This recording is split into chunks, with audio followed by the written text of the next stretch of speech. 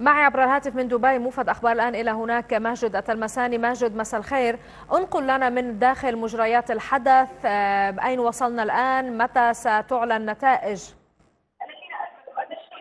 مساء الخير ميتون. آه، تحية لك وللمشاهدين. طبعا نحن هنا من قلب الحدث من مدينة دبي للاستديوهات. آه، أنا أعتذر أن لم يكن الصوت واضحا. لا واضح تفضل. كبير. طبعا آه، صاحب السمو الشيخ محمد بن راشد ال مكتوم افتتح الحفل قبل تقريبا ساعه من الآن ولا يزال الحفل مستمرا.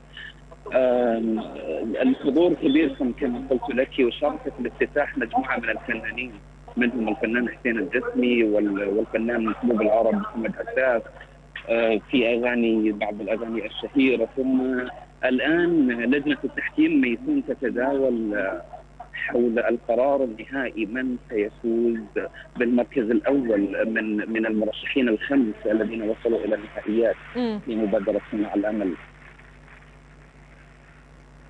إيه ماجد في آه بعدك معي صح؟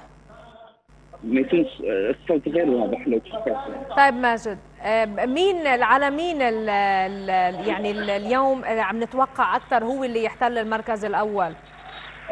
يعني ماذا تسمع هناك؟ طبعا إلى الآن اللجنه تتداول وأيضا هناك فقرة لتصويت الجمهور آه سوف يكون للجمهور دور في في تحديد من هو صاحب المركز الأول لكن إلى الآن ليس هناك اي اي, أي دلائل من سيكون الفائز المرشحون الخمس يقفون على خشبة المسرح وننتظر إلى حتى الآن الإعلان عن الفائز. بس بعد قليل يعني الإعلان سيكون خلال صحيح؟ خلال خلال دقائق ميسون سيتم الإعلان عن الفائز.